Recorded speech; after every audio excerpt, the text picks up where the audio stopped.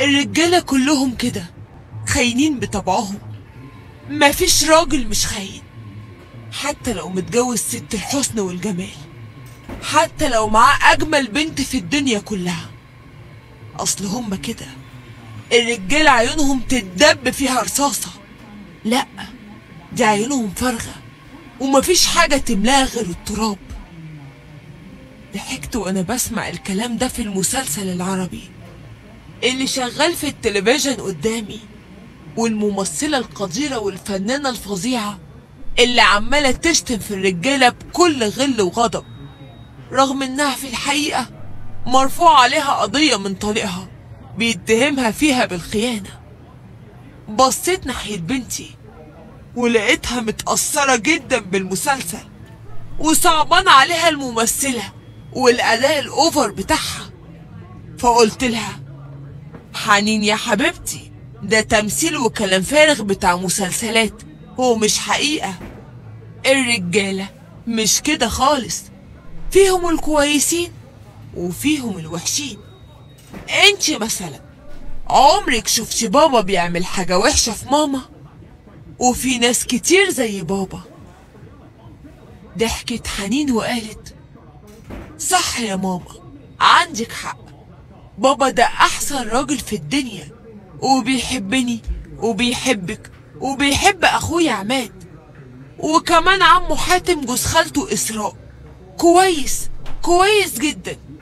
كل الرجاله الكبار اللي أنا أعرفهم طيبين قوي يا ماما. رديت وأنا بقول الحمد لله إنك عارفة كده كويس. بس لازم تعرفي إن مش كل الرجالة كويسين. في ناس كويسة كتير وفي ناس وحشة برضو. عشان كده مش لازم نتكلم مع حد غريب ولا نصاحب حد إلا لما نعرفه كويس.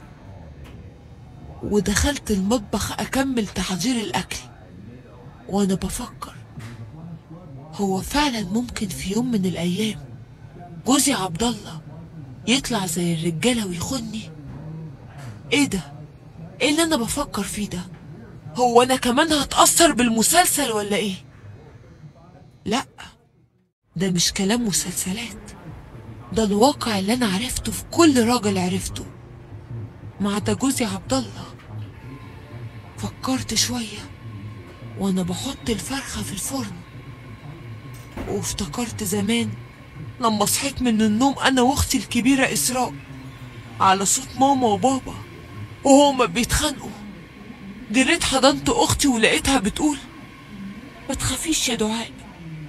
قلت لها هو إيه اللي بيحصل يا إسراء؟ أنا أول مرة أسمع ماما وبابا بيتخانقوا كده.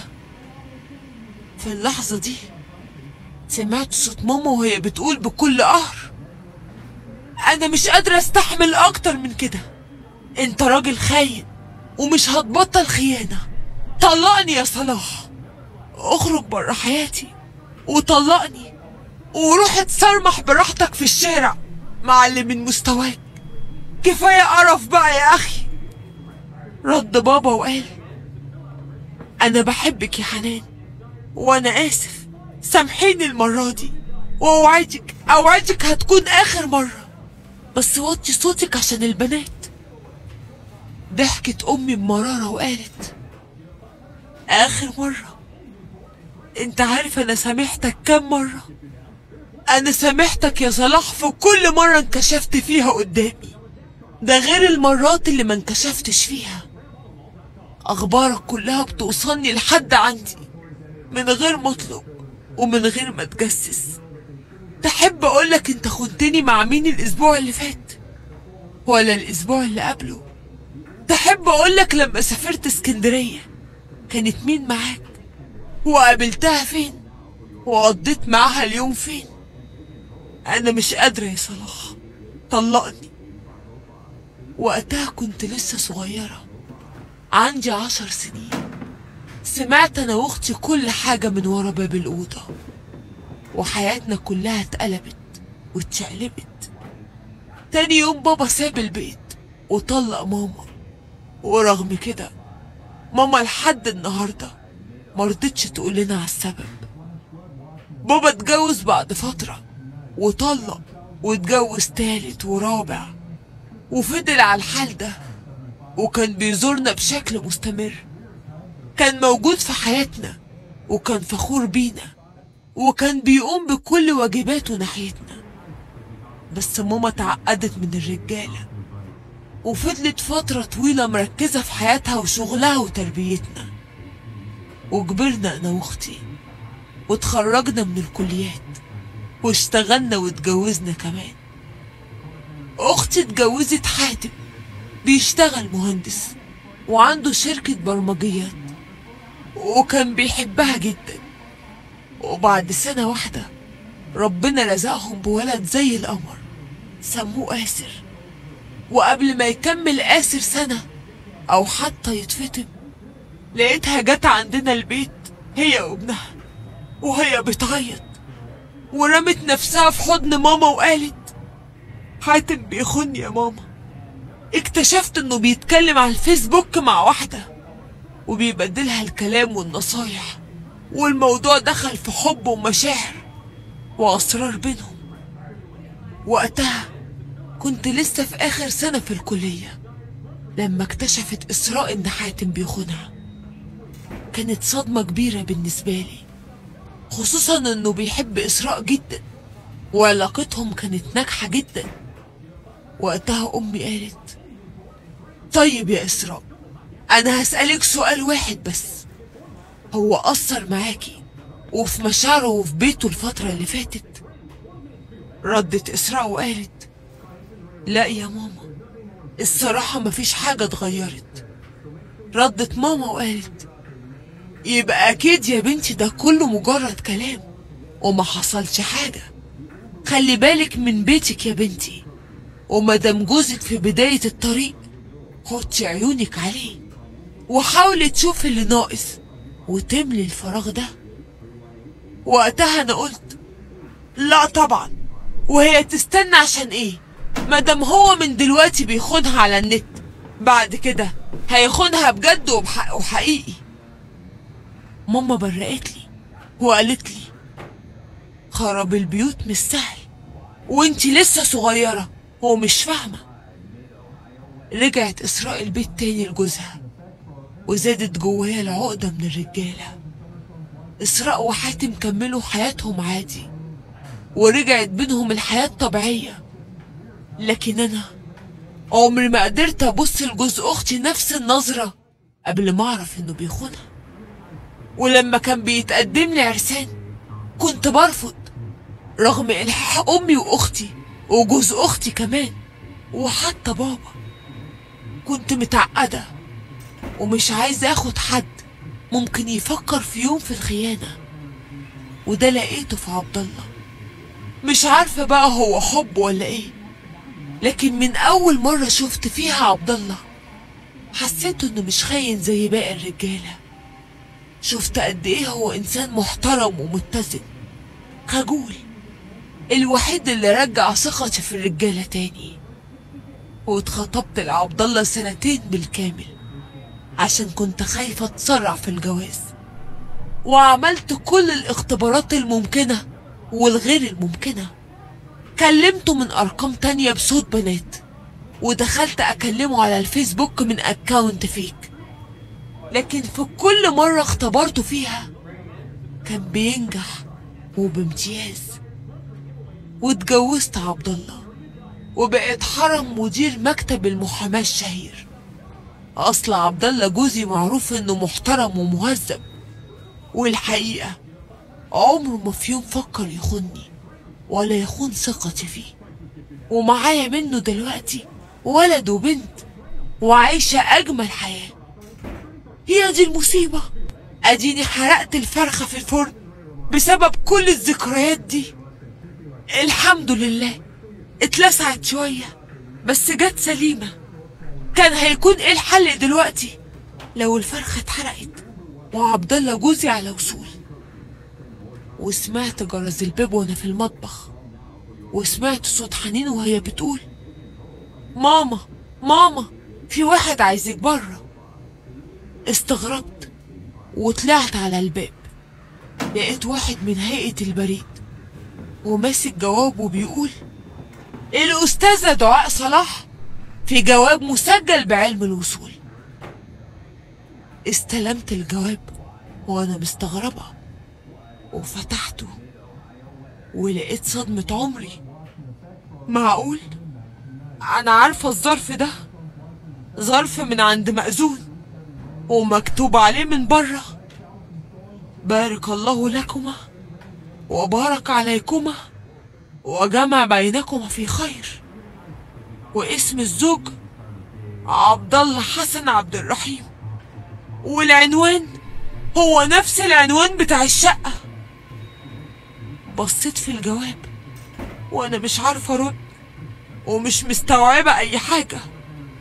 كل اللي طلع على لساني طلع خاين زي كل الرجالة أنا قلبي كان حاسس.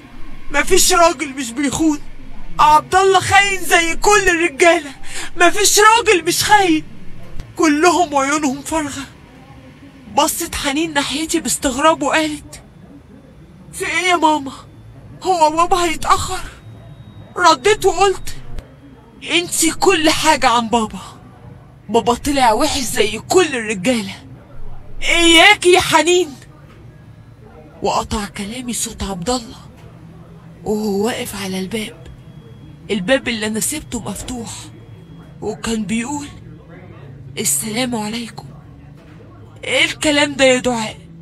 إيه الكلام اللي انتي بتقوليه للبنت ده؟ وإيه الريحة دي؟ انت حرقتي الغدا ولا إيه؟ قمت وبصيت ناحيتي وقلت له حياتي معاك هي اللي اتحرقت وانتهت يا أستاذ عبد الله لو سمحت طلقني من غير شوشرة. وكويس إني بتكلم بهدوء. وابنك نايم وبنتك لسه صغيرة ومش فاهمة. قلت الكلمتين دول ورميت الجواب في وشه ودخلت لجوه. مسك عبد الله الجواب وقرأ اللي فيه وفتح الجواب وبص جواه. وشال بنته وبسها ودخل ورايا وقال أنا لو هطلقك يا دعاء هيكون عشان أنت مريضة مريضة بالشك الشك اللي جواكي ناحية الرجالة عمره ما هيخلص. طول عمرك بتحطيني في اختبارات طول الوقت ودايما مستنية تكتشفي خيانتي ليكي. اوعي تفتكري إني مش عارف إنك عاملة برامج تصنت وتسجيل مكالمات. اوعي تكوني فاكرة اني مش عارف صوتك. لما بتكلميني من أرقام غريبة. ولا تكوني مش واخدة بالك. اني عارف انك بتبعتيلي رسائل مقرفة من حسابات وهمية. والكلام ده مش جديد عليكي. ده من أيام الخطوبة. وحتى بعد الجواز. طول عمرك مستنية أي فرصة. عشان تثبتي لنفسك إني خاين. عاملة فيها ملاك بريء قدام كل الناس. وانتي خانقاني بشكك فيا طول الوقت. رديت وقلت له وفي الآخر أديك خنتني واتجوزت عليا برضه. رد وقال انتي مجنونة يا دعاء مجنونة ومفيش علاج لحالتك. لو كنت ركزت شوية في الجواب كنت عرفت إن الجواب ده في عقد جوازنا إحنا أنا وانتي. وإن اسم العريس على الظرف من بره ده شيء طبيعي. ولو كنت فتحت الظرف كنت لقيتي اسمك في خانة اسم الزوجة يا دعاء. والجواب ده من الأحوال المدنية يا هانم. بعد ما أنا طلبت تجديد العقد لإصلاح خانة اسم أمي بسبب غلطة المأذون وهو بيحط البيانات. ورمى عبد الله الورق في وشي ومسكت العقد. ولقيت فعلا ده عقد جوازي أنا. بصيت لعبد الله وأنا مشلولة ومش قادرة أنطق بكلمة واحدة. حاولت أتكلم وقلت له أنا آسفة يا عبد الله بس حط نفسك مكاني. رد وقال أنهي مكان بالظبط؟ وأنت عاملة برنامج تتبع على تليفوني ومستخدمة برامج تجسس عليا.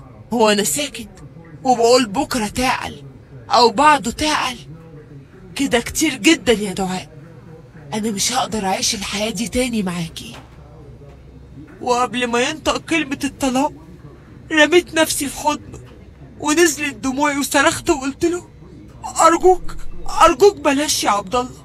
أنا آسفة. والله أنا بحبك وما أقدرش أعيش من غيرك. استحملني واعذرني وسامحني. ونزلت الدموع من عيني زي الشلال. كل كلمة عبد الله قالها صح مية في المية. أنا مش قادرة أبطل شك. لو اتأخر يبقى أكيد مع واحدة تانية. لو بيتكلم في التليفون وموطي صوته يبقى مش عايزني أسمعه. أنا بحب عبد الله بس متوقعة في أي وقت إنه هيخوني أو بيفكر يخوني. يمكن ما قلتش أي حاجة. لكن دموعي ونظراتي قالوا كل حاجة. طبطب عليا عبد الله وسمعته بيقول أتمنى يا دعاء تكون دي فعلا آخر مرة. المشكلة إن أنا كمان بحبك وما أقدرش أستغنى عنك أبدا. وجعان جدا. أنت حرقتي أكل النهاردة. ضحكت ورفعت وشي وعرفت وقتها إن مش كل الرجالة خاينين وصوابع الإنسان الواحد مش زي بعضها. طب إزاي عايزين نحكم على جنس كامل إنه شبه بعضه؟ الإنسان ممكن يغلط ولازم يغلط عشان إنسان لكن الغلط الأكبر إن إحنا ما نسامحش بعض وما نسمعش لبعض وما نعذرش بعض. والحياة حلوة لو عشناها. نراعي ربنا ونراعي نفسنا ونحسن الظن ببعضنا.